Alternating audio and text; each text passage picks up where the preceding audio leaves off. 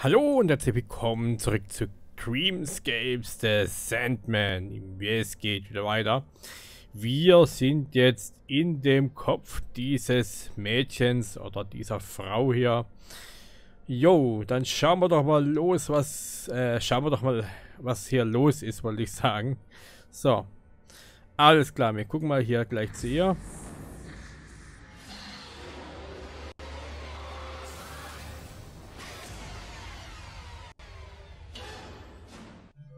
Ähm, aha. Das ist der erste Teil von Lauras Traumfänger. Klicke auf den Traumfänger wie der erste Teil. Das ist doch ein kompletter. Nehmen wir mit. Ja, herzlichen Glückwunsch. Du hast das erste Teil von Lauras Traumfänger gefunden. Klick auf das Symbol des Traumfängers. Du musst alle Teile des Traumfängers sammeln. Klick auf das Teil und ziehe es an seinen Platz. Ach so. Ah, das wird als ganzer dargestellt, aber man kriegt dann immer nur einen Brocken davon. Der ist jetzt zerbrochen und wir müssen den jetzt wieder zusammenfügen. Und wenn wir den wahrscheinlich zusammengefügt haben, dann wird sie wieder aufwachen oder so. Ja, so muss es sein. Ich werde Stück für Stück zusammentragen. Komme ich jetzt wieder raus hier? Hier, wenn ich runden klick. Jetzt befindest du dich im Lauerstraum. Schau, äh, jemand beobachtet dich aus einem Versteck. Klicke auf den Beobachter. Hä?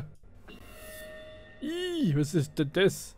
Jetzt ist der Beobachter enttarnt. Klicke auf ihn, um zu neutralisieren.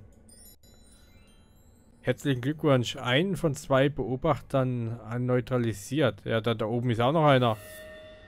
Geh, pfui, du hässliches Viech, du. I. 118 übrig. Ah ja, da gibt es immer wieder solche Beobachter. Was machen die, wenn die nicht enttarnt? Ist das schlimm oder, oder ich weiß es nicht. Hier hängen Fledermäuse, glaube ich. So, dieser komische Schatten hier oder ihr Albtraum hat sie jetzt da irgendwie in diese etwas verfallene Kirche reingetan oder was das hier ist. Was sind da? Hier, eine Fledermaus, okay. Was ist mit dem? Da kann man nichts machen, oder? Kann man hier scrollen? Nein. Was ist das da hinten? Ah, da können wir noch hinlaufen. Okay. Ja, wir können jetzt ja Ah ja, wir können hier wieder die Fledermäuse verscheuchen.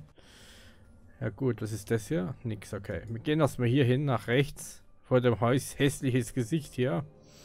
So. Wer bist du? Bilde ich mir das nur ein oder wartet er auf mich?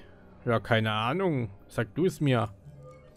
Ich konnte Clowns noch nie leiden. Es würde mich nicht überraschen, in diesem Drama auf einen zu treffen. Na, warum immer mit den Clowns? Also ich habe das noch nie verstanden. Ich habe keine Angst vor Clowns. Die werden immer irgendwie so dargestellt, als wären die richtig bösartig und weiß der Geier was. Eine Öffnung. Ich glaube, ein Teil vom Clown fehlt. Deswegen ist er auch böse, oder was? Ja. Gut, okay. Was können wir sonst noch hier? Ah, hier können wir was machen. Was ist das hier? Es hat keinen Sinn, mit bloßen Händen im Sand nach etwas zu suchen. Ach, warum denn nicht? Da haben wir was. Irgend so ein N. Oder was soll das sein? Da ist eine Pfanne. Ah ne, ist ein Kescher. Jetzt sehe ich das. Äh, können wir das nicht hier? Ein Stromkreisteil. Eins von drei. Kescher.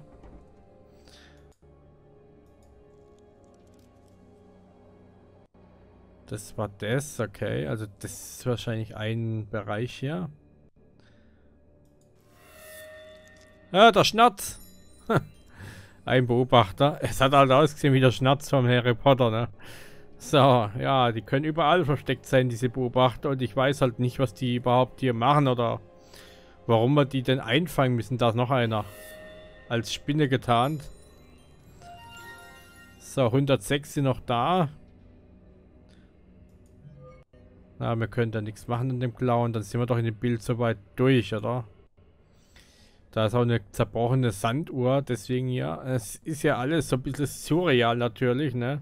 Traumwelt, Gedankenwelt, naja. Schauen wir uns einmal da links um. Da ist so ein Spiegelding, was ist das hier? Was ist denn das? Eine Kappe. Und da steht was. Vertraue nicht auf das, was du siehst. Ich bin am Leben, rette mich. Ja, das hat sie geschrieben und da ist noch ein Wesen, das uns beobachtet. So drei gibt es hier in dem ganzen äh, Schauplatz. Was ist das? Eine Münze oder was? Nee. Ach, noch eine Kappe. Was ist sonst noch was hier? Vertrauen ja. Soll das ein Witz oder eine Warnung sein? Ja, ich weiß nicht. Wieso? Was heißt Witz? Warnung. Ja, mm. die sagt uns eigentlich nur, dass hier nicht unbedingt alles ähm, wahr ist, was wir hier eben sehen. Ne? Es ist eine Traumwelt. Da muss nicht alles wahr sein. Man muss sich mal vorstellen, sowas in einem Kopf vorgeht. Es ist ein Traum, alles nur ein Traum. Da ist noch ein Viech. Ja, so ein hässliches Wurmviech hier, so. Und da muss ja noch irgendwo einer stecken. Wollen wir doch mal gucken. Ja, da blinkt es noch, aber das haben wir ja schon gelesen. Da müsste noch irgendwo so ein Wesen sein. Ich sehe es gerade nicht. Vielleicht hier. Was ist das für eine Puppe hier? Vater aus Papier. Ah ja. So, und hier können wir Steine wegnehmen. Okay, da ist ein Sieb. Ach, das können wir für einen Sand wahrscheinlich nehmen. Ach, das war's schon. Und hier ist noch eine Inschrift. Und da ist noch ein Vieh hier. So, ich habe dich gefunden. Hässliches Viech. Dessine Sferare qui hier intras. Ich kann leider kein Latein, also da muss ich passen. Das ist Lateinisch. Gib alle Hoffnung auf, wenn du eintrittst. Ehrlich gesagt ist das nicht besonders hilfreich, oder? Nee, besonders ermutigend. ja, also die Schrift hätten sie ruhig irgendwie schneller oder langer, länger stehen lassen können, nicht schneller. So. Okay, können wir hier was machen?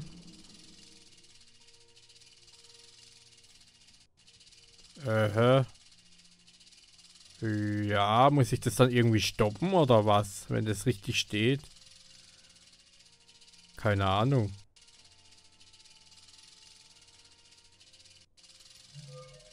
Was für ein seltsames Schloss, einige Teile fehlen. Ach so. Hm. Ja, und außerdem nervig. Das rattert hier rum wie, wie noch was. Ah, lass mich mal hier raus. Also das nervt. so, ähm... Ja, mehr geht hier nicht. Warum blinkt das hier immer noch? Muss wir hier noch irgendwas machen? Nö, ne, oder? So. Ja, ich muss sagen, dieses Spiel ist tatsächlich wieder ein bisschen anders wie alle anderen so. Und ich finde es eigentlich genial. Das ist nicht nur so reines Wimmel, das ist mehr wie so ein Adventure hier. Adventure sind ja auch genial. So, hier können wir jetzt was durchsieben. Jawohl. Ja, Sandkasten spielen. Ah, noch eine Kappe. Das war's jetzt, ja. Guck nicht so.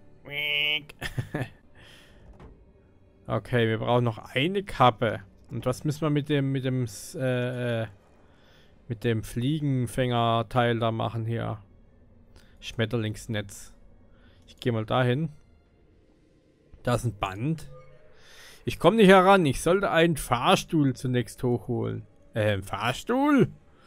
Gibt es hier auch einen Lift? Ja, hier ist einer, aber ich hätte es nicht gedacht. Was ist denn das hier? Das ist wahrscheinlich die Tafel. Da ist wieder ein Beobachter. Komm her, du ekliger Wurm. So, wir brauchen noch einen in dem Bild hier. Wo sollte denn der sein? Keine Ahnung. Ein heißes Loch, da können wir grillen, oder? Was ist denn das? Ich denke, meine Eigentümlichkeit von der Papa spricht, hat etwas in meinen Träumen zu tun. Ich kann meine Träume nämlich lenken. Gelenkte Träume, da ist ein Blümchen, ist es was Wichtiges?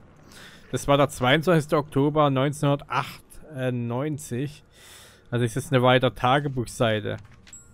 Und da ist noch eine Kappe. Jetzt haben wir vier. Und was ist das hier für ein Grillplatz hier? Da unten ist es sehr heiß. Toll, ich habe so eine Gabel mal in einem Angelfilm gesehen. Warum liegt die wohl hier? Ja, weil du hier irgendwas angeln sollst oder gabeln sollst. Ja, soll, müssen wir den hier draufsetzen? Das funktioniert hier nicht. Nee, ah ja, da ist noch das andere Viech. Ich hab dich gefunden. Die haben wir. Okay, perfekt. Das kriegt man dann, wenn wir die ganzen Beobachter finden. So, und jetzt dann mal auf die Tafel hier. So, was ist das? Ah, Schlangenteile. Ja, ne, wir haben doch schon so ein Schaltkreisteil. Aber das Ding ist noch nicht komplett. Wir können hier eigentlich noch gar nichts machen, ne? Äh, zurück. Irgendwas fehlt noch. Tagebuch, ja, wir haben doch den Eintrag schon. Ich kann das nochmal anklicken damit. Das ist nämlich Seite 4, nee, 5, oder? Ah. Nacht für Nacht, Traum für Traum erschaffe ich mir ein Traumland, eine Welt mit vielen flauschigen Wesen, in der alle glücklich sind. Ja, leider sieht ein Traum jetzt momentan nicht mehr so aus.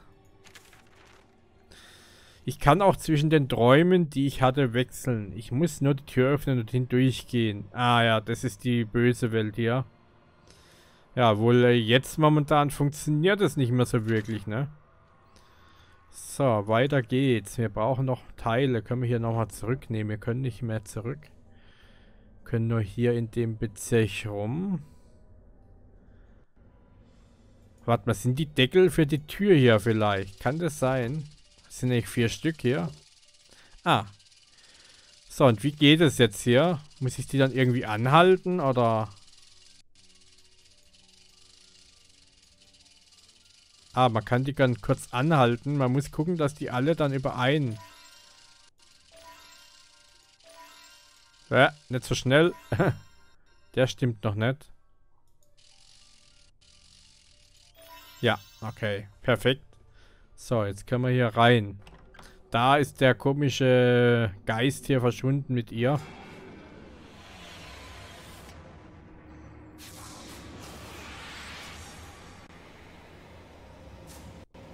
Oh, er will sie begraben. Well, Laura, if you don't want to give me what I ask for, you will die. But be assured that your death will be long and agonizing. Hm. Lang und qualvoll. Ja, kann der sie jetzt irgendwie im Traum dann töten? Weil man hat ja oft schon so, wenn man so ein bisschen mal so Filme geguckt hat. Oh mein Gott, er hat sie lebendig gegraben. Ich muss sie sofort aus dem Grab befreien. Ja, man hat ja schon oft in solchen Filmen sowas gesehen, dass man im Traum auch sterben kann, sozusagen dann, ne? Oder in solchen Virtual Reality Filmen dann, ja. Ja, es ist ja gar nicht mal so abwegig. Wenn dein Gehirn dann denkt, sozusagen, dass du erschossen worden bist oder so irgendwie was und ja. Ja, Laura Young, 1991 bis 2012. Hm. Sie ist dort lebendig unter dieser Platte, aber zu schwer um den Grabstein verbunden. Jetzt äh, verstehe ich die Bedeutung von was. Jetzt verstehe ich die Be Bedeutung des Satzes, ich bin am Leben, rette mich. so. Ja, das andere kann ich jetzt nicht mehr lesen. Scheinbar irgendwie fest. Ich kann sie nicht mit den Händen bewegen. Haben wir irgendwas zum... Ne, nicht wirklich. Ja, die Blumen hier sind aber auch hässlich hier. Die hängt den Kopf. Gut, wir müssen irgendwas besorgen, um sie daraus zu befreien. Was ist denn das hier? Musikalisches Schloss hat seinen Schatz gefunden. Das Friedhofstor steht offen, wenn in der Kirche die Glockenmelodie erklingt. Okay, wir müssen die Glocke läuten, dann passiert hier was mit Strom und dann ist das Tor offen, okay. Hä? Was ist das? Das Tor öffnet man nach einem Glockenläuten, wie amüsant. Naja, wieso amüsant? Was ist das? Ringe. Was braucht man denn die? Da hinten ist noch, äh, aha, eine Kneifzange. Und hier so ein... Das löst sich nicht. Es muss vollkommen verrostet sein. Können wir da mit der Zange was machen? Nein, ich fürchte, es ist nicht ganz richtig. Ja, da brauchen wir wahrscheinlich Rostlöser. Da ist das Friedhofstor. Ja, Noten, das ist schon der Hinweis eigentlich. Da ist der Strom. Das ist ein elektrisches Schloss. Lange nicht mehr geöffnet. Es ist ganz mit Sträuchern zugewachsen. Okay. Äh ja, wir, wir, wissen ja sowieso, wie es geht. Wir müssen ja die Glocke läuten. Was ist das hier? Nix. So, hier ist aber... Ja, da kommen wir aber nicht weiter hier. Da brauchen wir irgendwas. Warte mal, kann ich hier in dem Bild noch... Was ist denn... Ne, wir können nur hier längs. Da ist die Glocke. Was ist das da hinten? Oh, was für ein Glück das Ersatzrad und sogar noch ganz. Ich muss nur ein wenig aufpumpen. Ersatzrad? Für was denn? Ja, nehmen wir erstmal hier das Auberer-Teil weg hier. Wir brauchen einen Schlauch. Hm, alles hier ist auch recht schwierig. Ich muss den Schlauch von der Pumpe finden. Hm. Das ist ein Lappen, das sind... Sch ah. Ein Beobachter. Okay, ich habe gerade mal an die Viecher gedacht hier irgendwie. Ich würde das Rad ja gern aufpumpen, aber ich schätze, ohne Schlauch ist dies unmöglich. So, da ist noch ein Beobachter. Einer von zwei. Da ist noch einer hier oben. Da ist wieder der Schnatz hier. Jawohl, abgeschlossen. So, die Tür hier müssen wir uns mal angucken. So, da ist so ein Rad hier. Okay, okay. Offenbar fehlt auch hier wieder etwas. Ja, vielleicht solche Ringe hier. Ja, das ist ja klar, dass wir nicht hier ohne irgendwas äh, zu machen reinkommen. Da ist auch ein Türchen, das ist zugerettelt hier mit einem Draht. Super, keine Schlüssel, nur ein Draht. Aber womit kann ich ihn entfernen? Naja, einfach mit den Fingern abmachen oder... Naja, gut, wir müssen nicht durchschneiden, das ist zu viel verlangt. Ja, genau. Erstmal hier komplett durchschneiden. Okay, schauen wir mal, was wir dort haben um die Ecke der Kapelle. Peter Young. 1953 bis 2005. Da ist ihr Vater gestorben. Naja, der wurde 52 Jahre alt. Okay, da ist ein Bild von ihm wahrscheinlich. Da ist ein Zeitungsartikel. Was ist das hier? Das Leben ist ein Traum. Wir alle wachsen eines Tages auf. Äh, wachen eines Tages auf. Ein Teil, okay, von irgendwas. Einer Brosche oder sowas. Ja, da ist... Nee, das ist einfach nur ein Fresko oder halt ein Gesicht hier. Das müssen wir wahrscheinlich irgendwie zusammenschieben.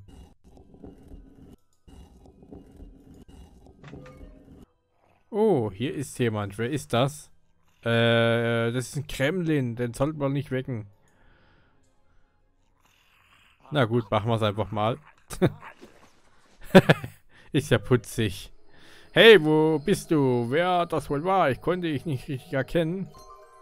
Neuer Erfolg. Äh, Benny, den schlafenden Kremlin gefunden. Ich wusste doch, dass es ein Kremlin ist.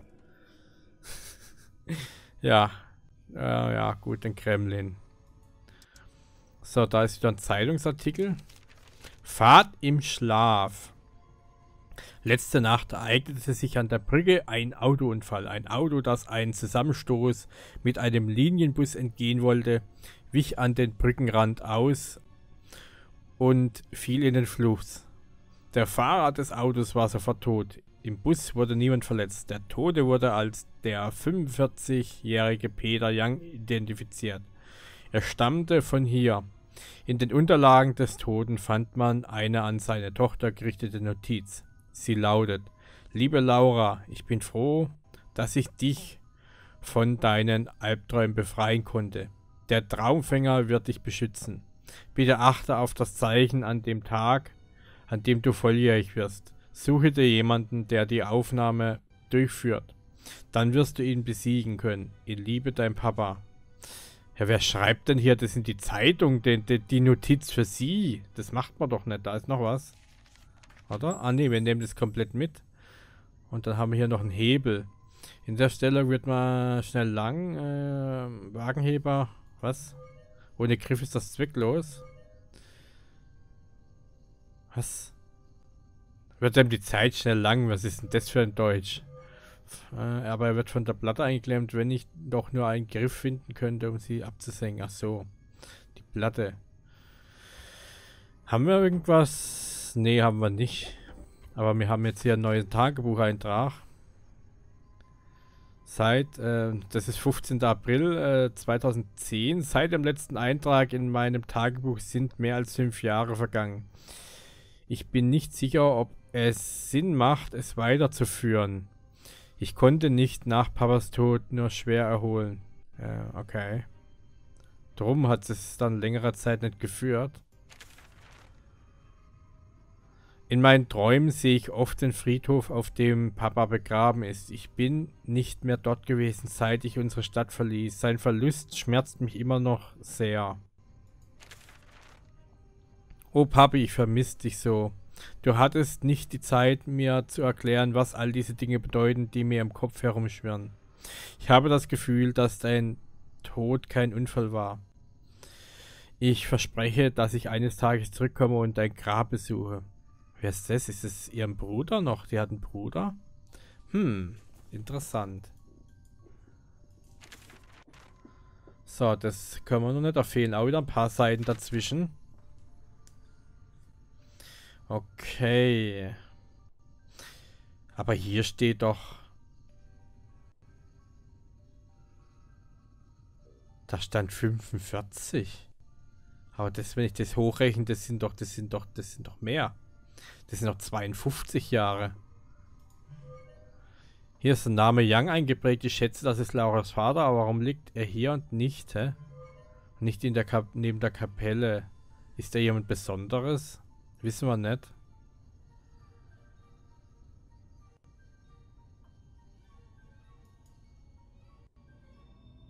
Okay. Jetzt haben wir zwei von den Kreisteilen. Können wir das hier einsetzen? Okay, was ist das hier für ein komischer Mechanismus? Äh. Ich verstehe nicht. Okay. War's das schon? das war einfach. Gut, aber ich würde sagen, wir machen an der Stelle auch wieder Schluss für heute. Ich sag wieder vielen Dank fürs Zuschauen. Ich hoffe, es hat euch gefallen. Mehr gibt's natürlich auch wieder beim nächsten Mal. Ihr könnt mir ja gerne einen Kommentar da lassen, ein Like und auch ein Abo. Denn nur mit einem Abo könnt ihr mich unterstützen und auch dann verpasst ihr nichts mehr, dass hier was im Kanal vorgeht. Ja, und dann an der Stelle sei noch erwähnt, ich habe noch einen Discord-Server. Wer möchte, kann da gerne auch mal vorbeischauen. Trifft man ja auch immer wieder Leute, kann untereinander ein bisschen schwätzen und so weiter. Ich sag Tschüss, bis zum nächsten Mal. Euer Lego.